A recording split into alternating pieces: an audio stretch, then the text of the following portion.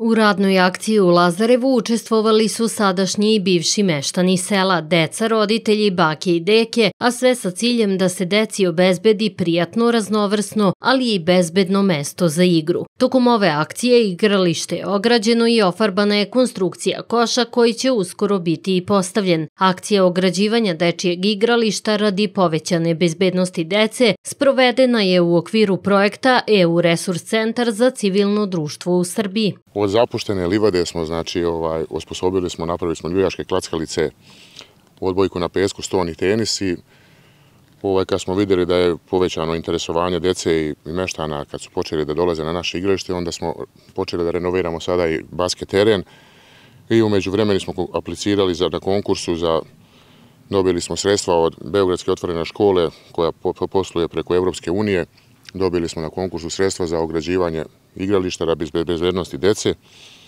Evo, to smo ovih zadnjih tri mjesta realizovali dokumentaciju i papire i sad, prije par dana smo podigli ogradu i trenutno je u nekoj završnoj fazi i tako, čekamo malo bolje vreme da padnu temperature, da počnemo da betoniramo i basket teren. I... Šta još treba da se uradi? Rekli ste basket teren, imate li još neke ideje za ovaj prostor?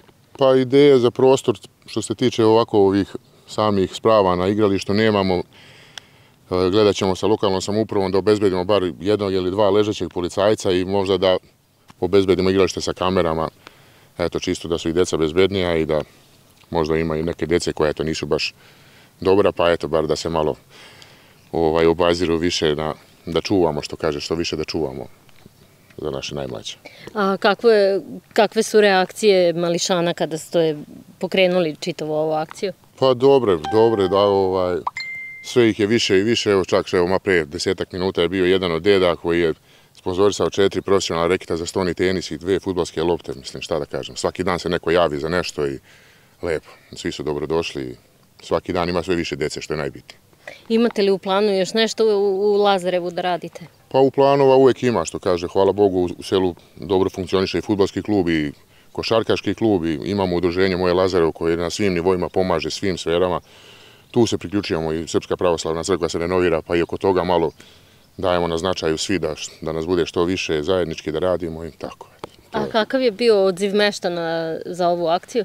Pa bio je, ver, mislim, preko 40 roditelja, mališana, 20 sati je trajala akcija, da kažemo, od ujutru do kasno ujutru smo ovde ostali, tako da lepo, ja kažem, što više pusti i decu, da i oni sami učestvuju u tome, da i oni iskopaju rupu, da i oni zasade taj stup i da vide kako je to, da ne bude samo da sutra kad ga budu rušili da znaju da nije lako ga ovaj, napraviti. Tako da, eto, sve zajednički radimo.